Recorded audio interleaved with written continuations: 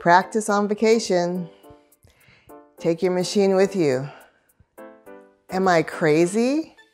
Well, before we find out, please click on the subscribe button and if you want to be notified of further videos on the notification bell.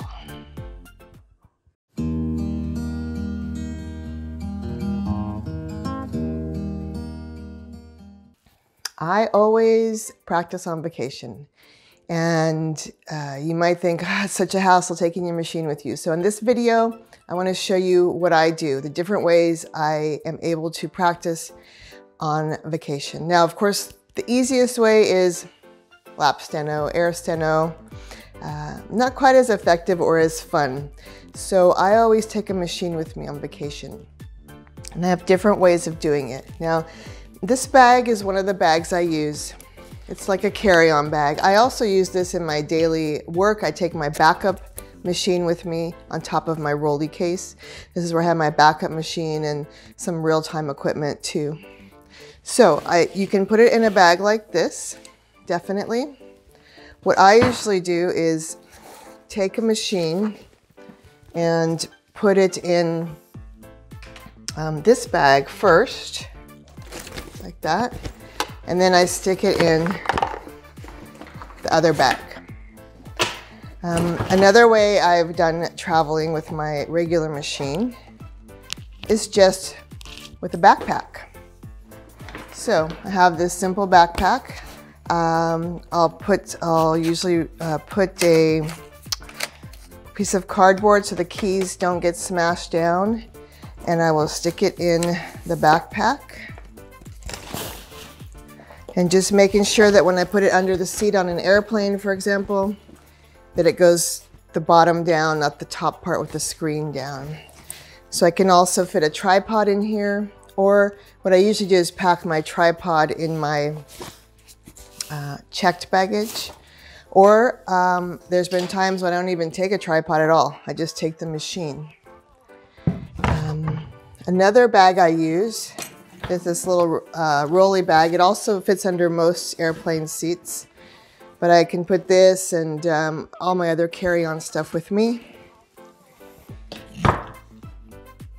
So say you maybe really, really don't want to take your machine. I love taking my machine. I have more than one machine and I, I just feel I want to practice on what it feels like for real. But if you don't want to, you can always do this uh, practice board, which you can get at championsteno.com. They're really good. You can put pads on it to give it more of a kind of a little bit of a spongy feel.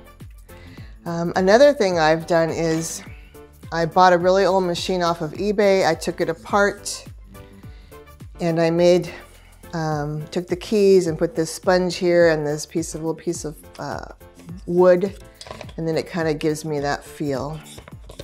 And uh, this one and the Champion Steno board, of course, they no no harm or no chance of them getting damaged. Um, when you are going through the airport, you just have to make sure you take your machine out and put it in one of the bins because they don't know what it is when they're looking at it through the x-rayer. So you gotta make sure you put it through one of the bins. Uh, if you think that's an extra hassle, just depends how your mindset is.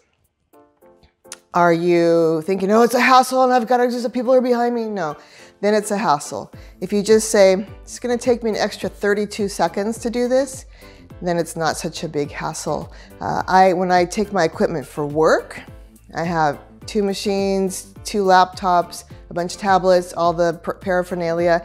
And so I just tell people, oh, go ahead and go by as I'm filling up probably about eight bins of all this stuff. I said, just go ahead and go on by.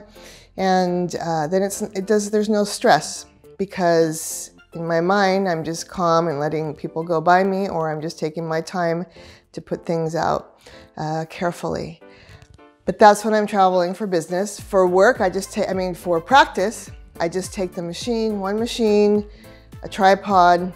Uh, if I have my laptop or my little backup uh, laptop, if I want to hook up to it, then I take the tripod and the uh, cable. Uh, but sometimes I just take the machine and that's it. Sometimes I don't even turn the machine on. I practice with it turned off. I just like the feel of the real machine.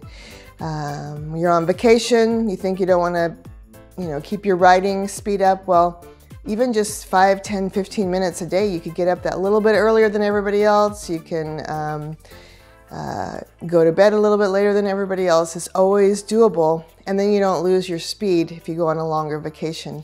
And on the weekend vacation, maybe you're getting ready for a test or, or you have a real-time job on Monday. Uh, why lose those days of keeping in shape? Mm -hmm. All right, well, if you like this video, please click on like and share it, and I will see you in the next one.